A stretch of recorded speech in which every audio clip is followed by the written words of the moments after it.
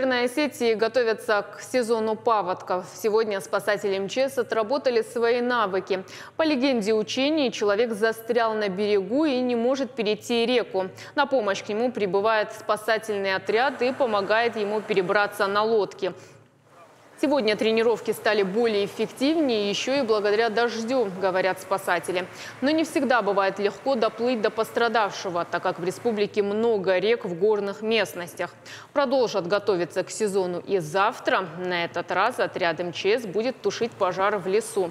По словам начальника специализированной пожарно-спасательной части Игоря Бароева, учения проходят успешно и в нужный момент они будут в полной готовности. Завтра третий завершающий этап командно-штабных учений всероссийских. Мы завтра отрабатываем тушение лесного пожара. И это все будет отработано практически с применением техники и всех служб, входящих в РСЧС.